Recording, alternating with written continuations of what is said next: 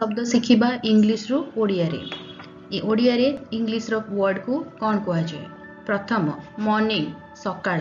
ଦ୍ୱିତୀୟ ନୁନ୍ ମଧ୍ୟାହ୍ନ। ତୃତୀୟ ଆଫ୍ଟରନୁନ୍ ଅପରାହ୍ନ।